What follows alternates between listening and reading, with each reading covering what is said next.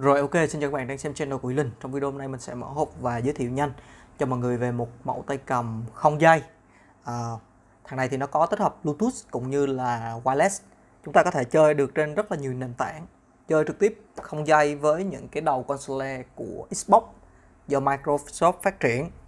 Ngoài ra chúng ta có thể cắm dây và dây nó có độ dài đi kèm theo máy là 1,2 m chơi trên hệ điều hành PC và trên cả những cái hệ máy console của Sony nó vẫn hỗ trợ đó là PS3 ha bây giờ mình sẽ tiến hành mở hộp nhanh cái tay cầm Xbox One N1 này ra. Cho các bạn thấy đó. nó sẽ à, như thế nào? Ok hiện tại nó có một cái lớp keo à, cho mình mượn một cái dao đi bạn. Đây đây.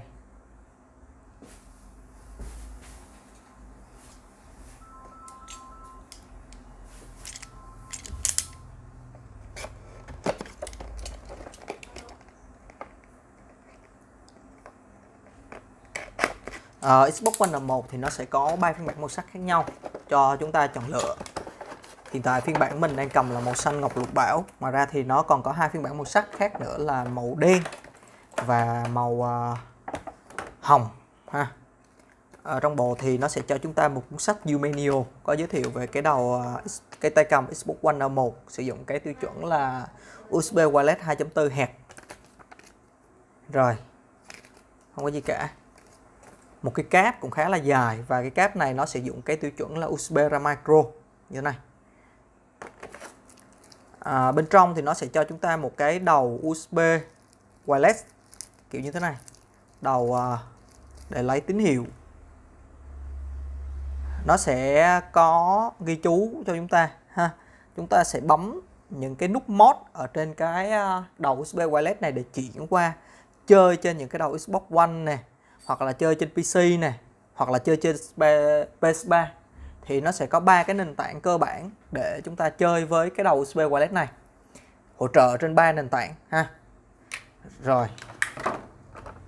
Đó, phụ kiện nó chỉ có như vậy thôi.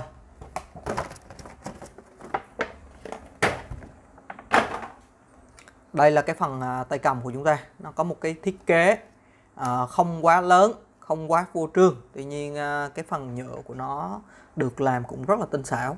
Cái phần nhựa mặt trên á, thì nó là một cái lớp layout nó gắn chồng lên cái phần nhựa màu trắng ở bên dưới. Đó cái phần nhựa này nó là phần nhựa trong suốt nè. Phía dưới là nó là nhựa đục và nhựa ABS thôi. Sau nó có một cái cổng ha reset nó vẫn có tất cả các phím cơ bản của một chiếc tay cầm Xbox One ha các nút Reset và menu cổng sạc USB ra micro hai nút analog để theo chiều sole à, các phím function ABSI rồi. Ok độ đàn hồi của các phím này thì cũng khá là nảy đó. Khá là nảy nó không nặng lắm. Rồi bây giờ mình sẽ tiến hành à, connect nhanh cái tay cầm à, à cái đầu USB wireless này vào PC để xem thử là chiếc tay cầm này nó sẽ nhận driver như thế nào và có thể chơi được trực tiếp cái tựa game FIFA Online 4 hay là không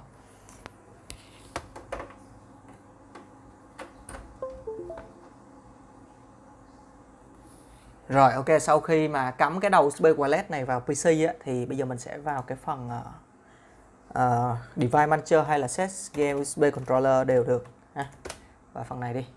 Ok và nó đã nhận luôn cho chúng ta là Xbox 360 for Windows controller như thế này như này à mình nhầm mình phải bấm phím home nữa. Giữ phím home nữa. Ha trên tay cầm phải giữ phím home lên. Để cho cái tay cầm à, nó connect với lại cái đầu USB wireless kia. Nó cũng giống tương tự với những chiếc tay cầm khác thôi. Là khi mà chúng ta à, cắm cái đầu USB wireless đó vào PC á thì cái đèn màu đỏ trên cái đầu USB wireless nó sẽ chớp nháy liên tục. Và chúng ta sẽ giữ phím home này trong tầm 3 tới 5 giây và nó sẽ tự động quét và tự động kết nối với nhau. Khi mà kết nối xong thì nó sẽ sáng một cái đèn màu xanh như thế này. Nó sẽ có bốn chế độ đèn ha, và tùy vào mỗi hệ điều hành OS khác nhau thì nó sẽ sáng một cái đèn khác nhau. Hiện tại nó đang sáng cái đèn đầu tiên là chúng ta có thể đó các bạn có thể thấy là trên à, USB game controller của Windows nó đã nhận gần như các phím chức năng đầy đủ rồi. Đầy đủ rồi. Như thế này thì chỉ cần bật game lên là chơi thôi ngoài ra cái cách sử dụng cái chiếc tay cầm Xbox One N1 này á, thì trên trang web Huy Linh có viết rất là chi tiết. Các bạn có thể truy cập vào trang web là huy linh.net và gõ trên từ khóa là Xbox One N1 để vào cái sản phẩm này. Ở dưới cái phần sản phẩm thì mình có để lại hướng dẫn khá là cụ thể cho từng chế độ từ Windows cho tới Connect đầu console PS3 hoặc là Xbox One. Chúng ta có thể chuyển qua chế độ Xpass và ePass đều được ha. Rồi vấn đề đó thì nó đơn giản thôi không có gì hết. Bây giờ mình sẽ à, mở một cái game. Uh, Street Fighter X Tekken lên cho các bạn thấy được là một cái game mà nó tự động map tay cầm á thì sẽ chơi như thế nào ha? Đối với cái hệ điều hành này. Ok nó sẽ tự động nhận tay cầm luôn. Nếu mà nó là Xbox One あごめんなさい。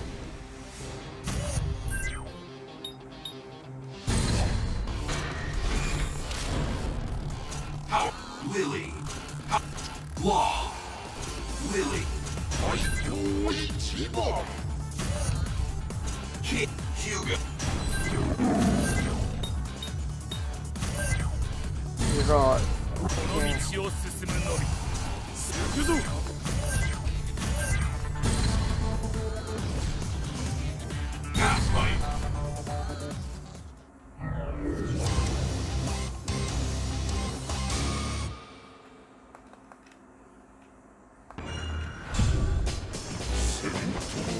nút rất là nảy ha.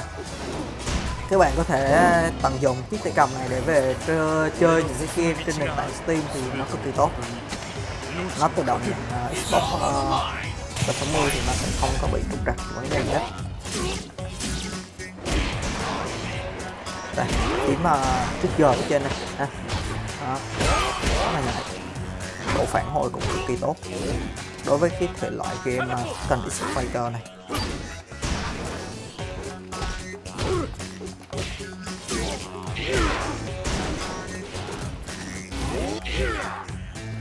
game này thì tổ hợp skill rất là nhiều ra những combo nó sẽ một uh, cái loại game mà giải trí rất tuyệt vời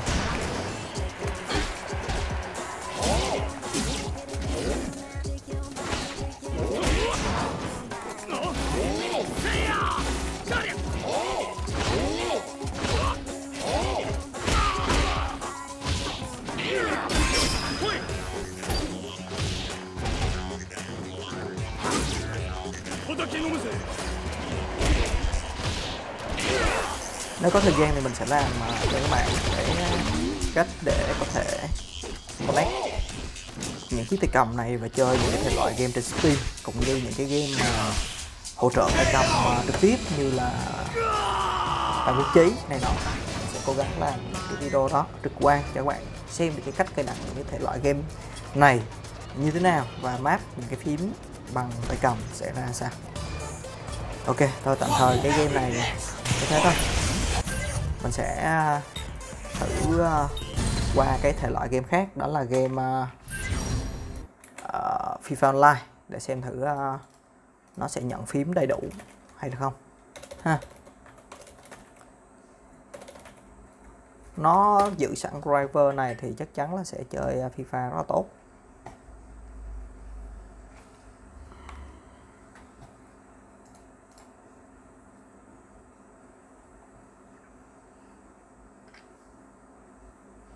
Build rất là ổn. Tuy nhiên cái nhựa này thì mình nghĩ là nếu mà các bạn chọn lựa màu đen thì nó sẽ đỡ dơ hơn.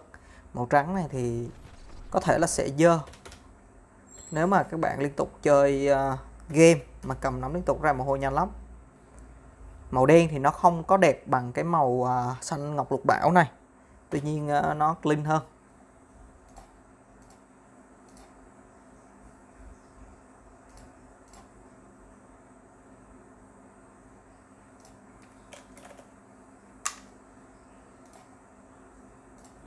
Ok mình à, ra mình test xem thử nó còn à, đang quay màn hình này không? Mất công đang quay video nữa. Rồi bây giờ mình sẽ vào một cái uh, luyện thôi. Để test các phím ở trong game thôi xem nó có nhận đầy đủ hay không. Là được rồi.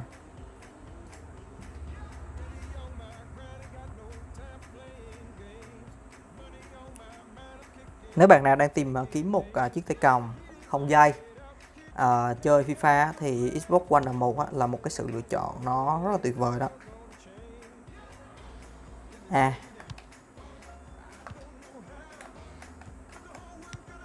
Wow nó tự động rung phản hồi luôn rất là nhạy.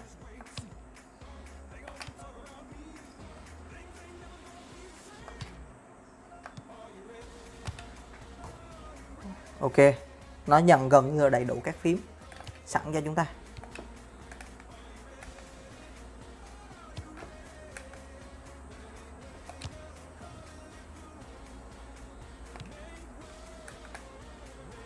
Nó truyền phải định hướng á.